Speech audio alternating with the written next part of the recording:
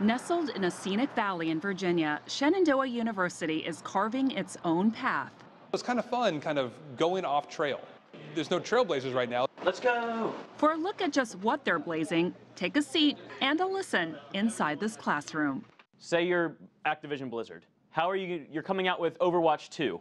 So like you can get more mushrooms with like toads than the carts. The revenue from all of those skins are being split. This is the language of esports, a field now intersecting with higher education. This fall, Shenandoah University debuted its academic esports program, one of the few in the world. How many of you have made a microtransaction in game? I know we've had this conversation in the past. Look at that. Christopher Scroggins is the main instructor. We're two people of maybe 10 in the country because a lot of academics don't have an esports background. Joey Gawrysiak, a former competitive gamer himself, is the director of the esports program.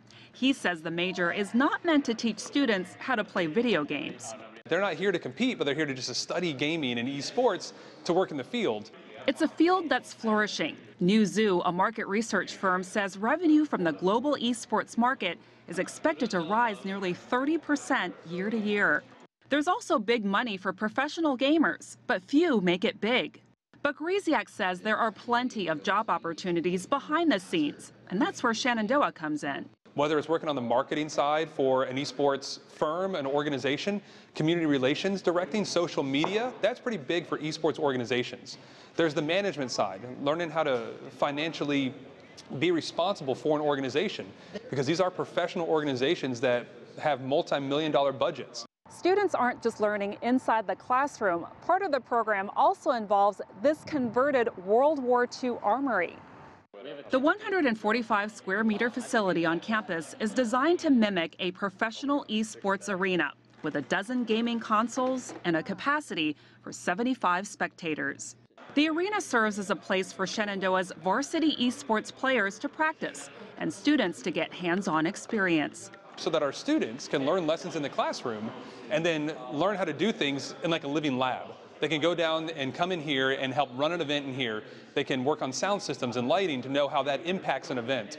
There's like so much potential here, and I'm so like I wanted to be a part of that. Caitlin Graulau is one of Shenandoah's 16 students pursuing an esports major. She hopes to work as a freelance journalist in the field.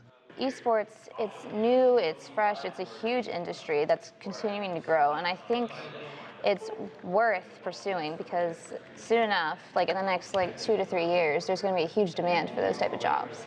Student Jason Anderson is striving to be a CEO someday. He says the stigma of esports as just people playing video games will eventually subside.